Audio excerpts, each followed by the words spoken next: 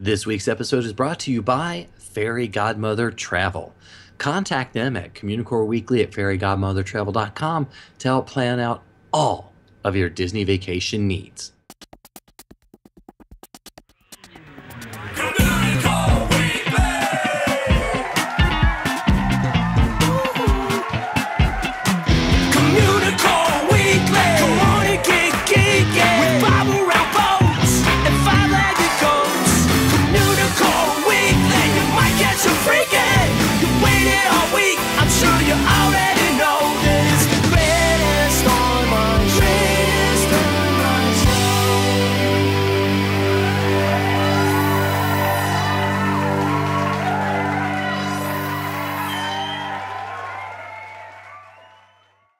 Hello and welcome to Communicore Weekly, the greatest online show and home of the world's first pair of independently born identical twins. I'm George. And I'm Jeff. And what's up? Cool. Oh, nothing much. Just Oh. sitting here hanging out, Oh, that was a delayed chilling response. for a while. Oh, was it It was. like me delayed or like internet delayed? I don't know. Maybe both. Maybe both. I have to have the listeners. What happened? We- Tell us we what happened there. Yeah, let us know. It could be either way at this point. anyway, I think that's enough of a ramble for us. Let's just go into the episode. It's time for Disney History.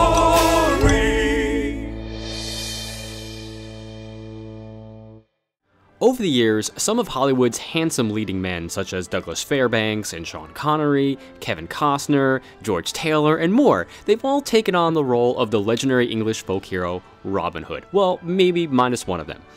um, but today, the one we're going to be talking about is a real fox, literally. And that, of course, is British theater actor Brian Bedford, who voiced Robin Hood in the animated film uh, released by Disney in 1973.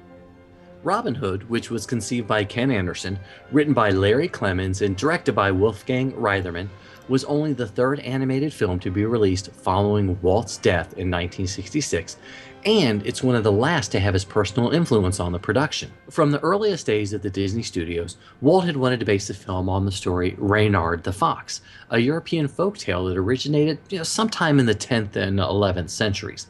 This was around the time when stories were created in which animal characters were used to create satires of human experiences. Now, Reynard was a sly and deceiving figure who had manipulated his way out of challenging situations, thus gaining a degree of sympathy from the audience, but whose predicaments often resulted in the death of those around him. So, obviously not the, you know, the character that you want to believe in for a Disney film.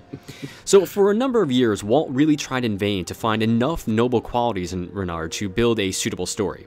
But ultimately, it was decided to shift attention to the equally crafty but much better intended character of Robin Hood, whose policy of robbing the rich and giving to the poor and defying the ruthless in power made for a more respectable anti hero. In, in the 1950s, Disney animator Ken Anderson put together a potential script and preliminary drawings in anticipation of the Reynard film. When focus shifted to Robin Hood, they realized that many of Anderson's drawings could still be utilized, uh, because by making the sly and cunning Robin, Robin Hood a fox would work perfectly. So the film was presented as the Robin Hood legend from an animal's point of view, with the animators correlating the characters with their human counterparts. For example, King Richard the Lionheart would could only be portrayed as a lion, of course, and his brother Prince John was as well. Little John's name was a joke regarding his notable size, so he was turned into a large bear. Now, let's just take a step back a little bit and learn about the origins of the story to begin with. The earliest known mention of Robin Hood was in a Baldalic poem called Piers Plowman, written by William Langland in the late uh, 14th century. A reference was made to the rhymes of Robin Hood in the poem, but nothing earlier than this mention could be found. Uh, in a history of Scotland written in the 14th and 15th century called the Scotichronicon, which is Ooh. either the name of a great convention or like a dark book, um, also mentioned a bandit Robin Hood with Little John and their accomplices. So it's got a Scott Chronicon be Scottish people that like time Uh, or maybe watches, maybe. it's like the watches. Necronomicon. Like if you read from it, Yeah, Re- Scotsmen yeah, appear. and they tell you the time. Yes. Okay, good.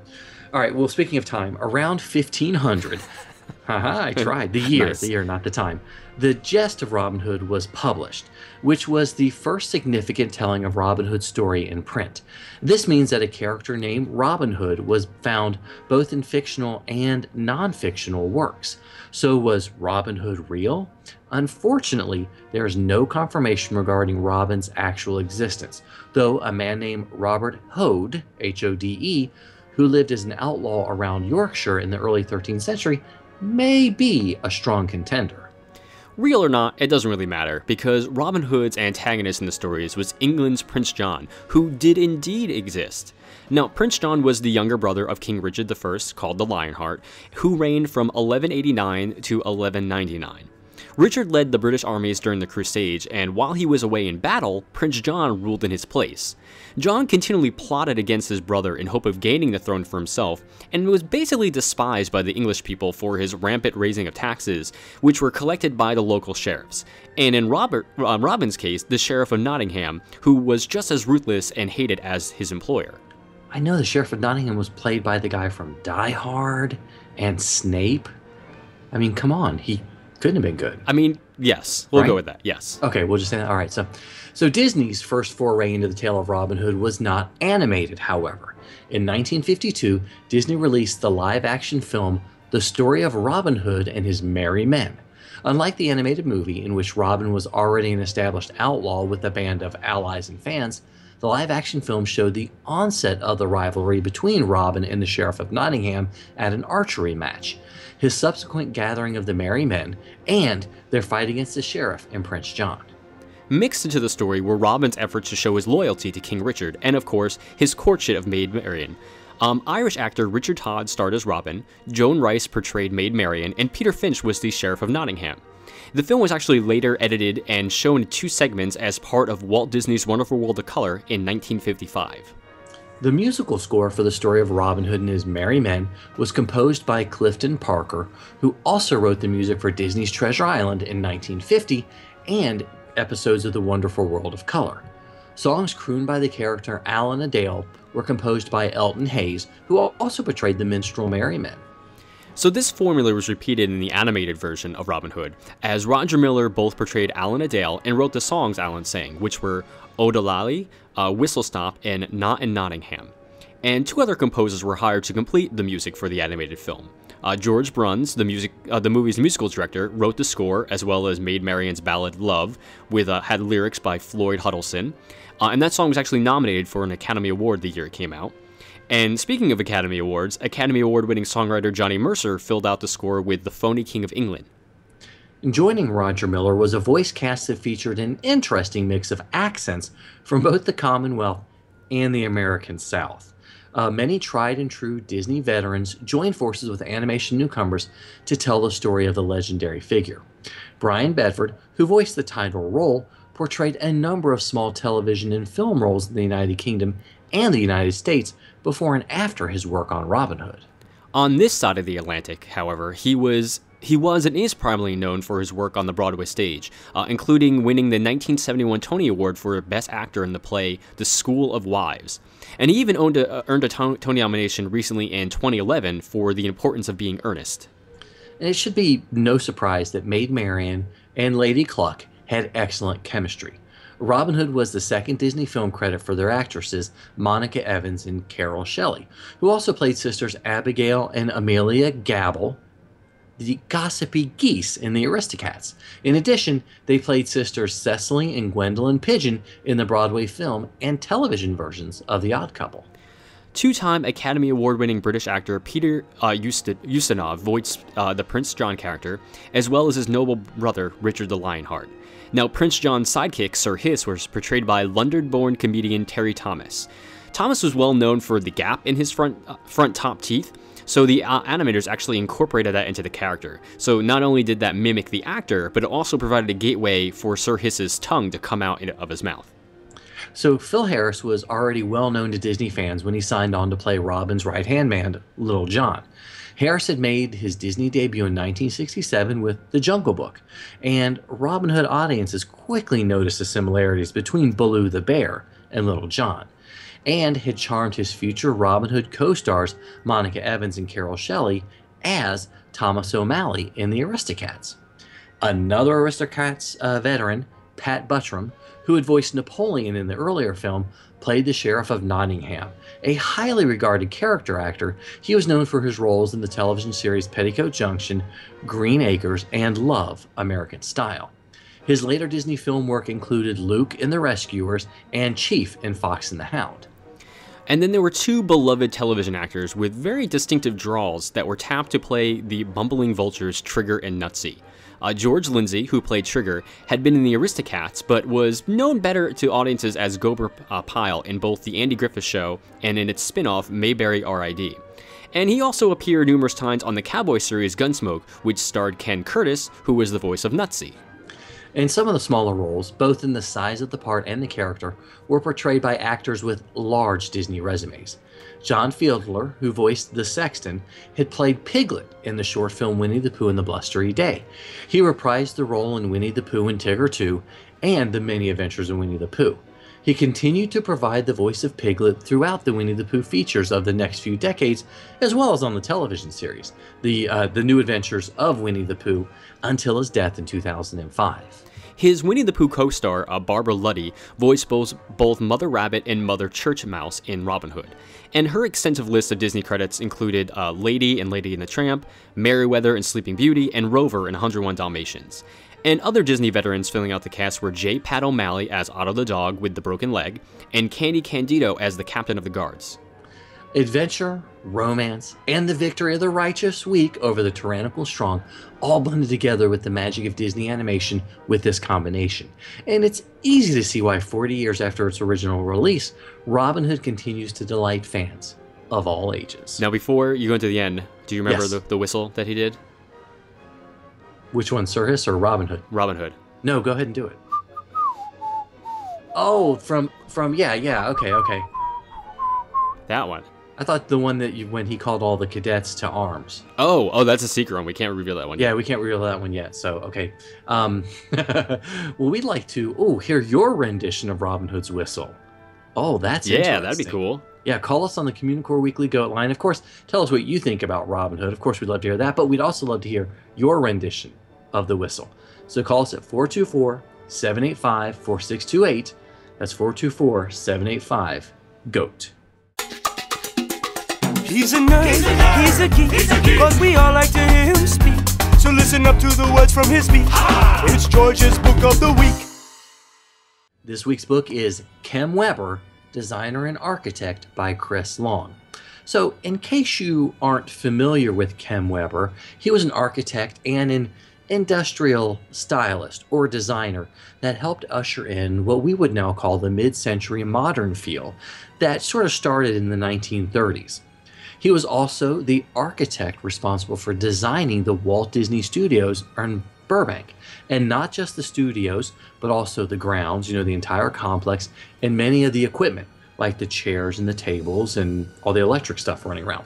And obviously, you know, when I looked at the table of contents, which you may or may not be able to see right now, the, the book doesn't look exclusively at Weber's work at Disney. So most casual Disney fans aren't going to want to invest in this title. But fans of architecture, fans of mid century design, and people who'd like to learn a little bit more about the architecture are going to really like this book. So, to me, it was quite an interesting look at an architect who, uh, for lack of a better term, and, and how he became extremely important with modern sensibilities in the 1920s. And for me, it's hard to imagine the growth of the style because it's always been there. And it's something that, though, this book does very well. It shows Weber from his early beginnings in Germany to when he made his way over to the United States to help with the San Francisco ex- Exposition, so tying in the World Fairs again, and how he sort of got stuck in the United States because of the outbreak of World War One. Um, it talks about how he developed this art form in architecture as well as in furniture, and how he was sort of at the forefront of this wave of modernism. And of course, throughout the book, you realize there was a lot of anti German sentiment because he was very, he did a lot of work during World War One and World War Two. And there wasn't a lot of, there was a lot of anti German sentiment going on uh, in all fields, basically. Okay, so he did get some contracts in the 20s, and he did work on some simple displays and actually designed an entire store almost right from the get go. And it became huge and it exploded across the country, basically, this idea of the modern furniture. And he became the go to person. He lectured all over the country, he wrote articles, he met people all over the world, and still had issues with getting his furniture and his designs actually bought and purchased. The Depression hit him, like everybody else, the Great Depression, and you know almost did him and his family in, but he was able to get a few contracts. And the book goes and talks about that a lot. Um, the section, though, that most people are going to be interested in on the Burbank Studios was was fairly interesting, but it wasn't as complete as I'd like to see, especially for Disney fans.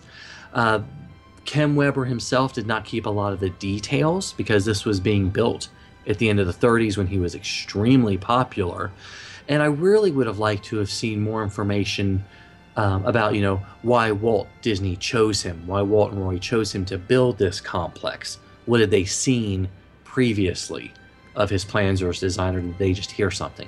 So I'd still like a little bit more in depth from them, but it was nice to see the Disney Studios and the overall or overarching uh, his his work, his to- the totality of his work, basically, to see how he went from his early designs past the Disney Studios to what he did in the 50s and the 60s as well, to see that evolution for his opus. That's what I was looking for early earlier. His opus. It's a good word, opus. It's a good word. I like it. I like it. So, um, but you also find out that even though he was still in charge of designing the Walt Disney Studios, or the, Walt still came in and changed things and did his own designs, even though he was paying Weber all of this money to do it. So you still get a glimpse of Walt is being totally in control of everything. So the rest of the book does look at all the houses and all the different projects, including a lot of furniture. And you should Google the airplane chair, because that's one that he created that's pretty famous. Um, a lot of his buildings and houses are still standing today, which is nice. A lot of them, of course, in Southern California. And as I said, I'd like to have seen more information about why Disney chose him. It's probably my only drawback with the book itself. And it does get pretty dense into some architecture related terms, but nothing that was too bad. So, still, I think, you know, fans of just plain Disney or the Disney films or the theme parks aren't going to find much here, but I still wanted to cover it because it does talk about the Disney studios, which is kind of neat to see that. So, if you have an interest in architecture, especially Southern California architecture or mid century modern, then this might be a book that you want to check out. It's called Kem Weber, Designer and Architect by Chris Long. Sometimes it's a one. Sometimes it's a two. When you gotta go, what you gonna do? It's a bathroom break. A bathroom break.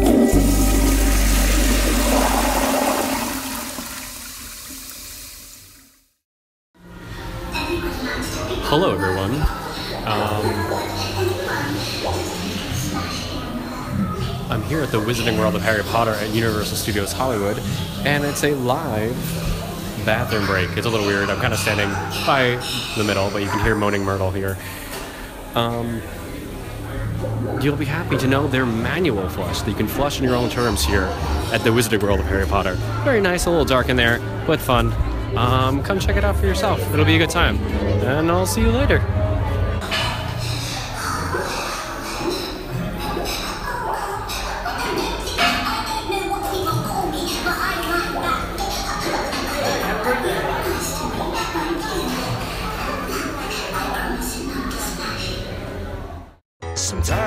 Might see it, sometimes you don't. Hey, look, what's that? It's a five-legged goat. As we discussed in the history section, uh, Robin Hood has some really good music and whistling for that matter. Um, but the film also uses two well known college fight songs during the chaos following the tournament of the Golden Arrow. The University of Southern California's Fight On is played during the chase, and On Wisconsin from the University of Wisconsin Madison is used during the scene in which Lady Cluck, not Gluck, Lady Cluck is fights off Prince John's men in the simulated football game. Because Lady Gluck makes so much more sense. I mean, it does. it really does. I mean, if It you know really does. Keith, guys. Yeah, exactly, exactly. We love I s- couldn't come up with a segue because I was so, so, throw, so thrown off by the sports. You can't even you can't even talk because couldn't of even get the words out because it was the sports. I got confused, and I know that my brother Andrew said whenever sports come out, just yell "Go Bucks" and I'll be okay. Is that how that works? I don't know what that means. I don't know what that means either. but we probably just had a bunch of people shouting Ohio State stuff at the at their MP3 player. Oh, okay, fair enough. I have no idea. I don't know So- what any of that means. I don't know. Was it. Ohio State? I don't know. There's some theme parks in Ohio State. Hey, now we're talking. I know that much. Um, so obviously, with that very bad segue, because it really wasn't a segue at all, we are at the year of a million or so limited time cadets prize winner announcement. Hooray! Yay! And as a reminder, you just have to email communicoreweekly at gmail.com. Tell us your name, your address, and your birthday so you can be entered into the prize. We still have a few more months to go We do. at least to the end of the year, but we're getting closer. This week's prize pack is a wonderful Fairy Godmother Travel sponsored prize pack from Teresa Corey. I was trying to say prize pack as many as I can. I can tell. We get can. paid by a nickel Exactly. time. I wish. So this week's winner is Matt T from Killeen, Texas. Hooray, Yay. Matt T. And I should have should have read it with my Texas accent. You should have, or I lack had a shout out on Twitter that somebody really enjoyed my Texas accent and Oh, said I could move to Texas and fit right in. Yeah, you you keep thinking that, George. Yeah, okay. Well, anyway, thank you guys so much for watching and listening to another episode of Communicore Weekly. And you know, however you get the show, if you listen to us on iTunes, maybe leave us a rating there, or on YouTube, leave us a comment. We'd love to hear what you thought. Yep, and email us at communicoreweekly at gmail.com because there's still plenty of time to enter the contest. You can also like us on the Facebook at facebook.com slash communicoreweekly. And follow us on Twitter, Instagram, and Periscope. I'm at Imaginerding. He's at Jeff Heimbuch. And of course, give us a call on the Communicore Weekly Goat line at 424 785 4628. And make sure to visit the Communa store on CommunicoreWeekly.com where you can buy some awesome t-shirts and Communicore Weekly the musical.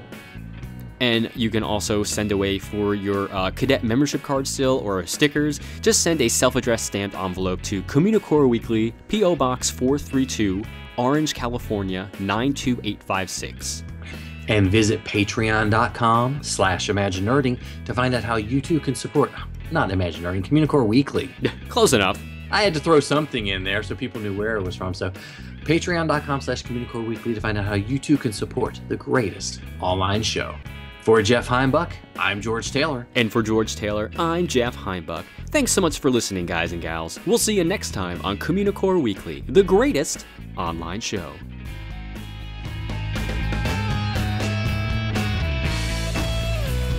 Breakfast.